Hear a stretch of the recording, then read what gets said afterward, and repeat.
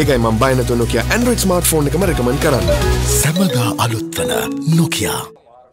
ශ්‍රී ලංකා යුද හමුදාවේ එකොළොස් වන යුද හමුදාපතිවරයා ලෙසින් කටයුතු කළ ජනරාල් හැමිල්ටන් වනසිංහ මහතා නමින් මල්වාන තොම්පේ ප්‍රධාන මාර්ගය නම් කෙරුණු අවස්ථාවට යුද හමුදාපති ශවේන්ද්‍ර සිල්වා මහතා මෙලෙස එක් වුණා.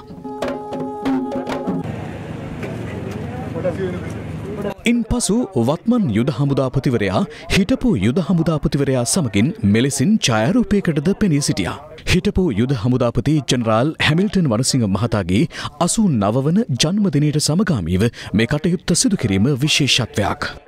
එතුමා එක්දා සමසය අසූ හතේදර එක්දා සමසානුවක වර්ෂ දක්වා එකොළොස්වන යුද හමුදාපතිදර වශයෙන් ශ්‍රී ලංකා යුද හමුදාටත් මේ රටත් විශාල සේවයක් ඉෂ්ට සිද්ධ කර. ඉතින් ඔහුතුමාට ගරුත්වයක් වශයෙන් තමයි ඔහු ඉපදුන මල්වාන ප්‍රදේශයේ මෙම පාරක් ඔහුගේ නමින් විවෘත කරන්න යෙදුනේ.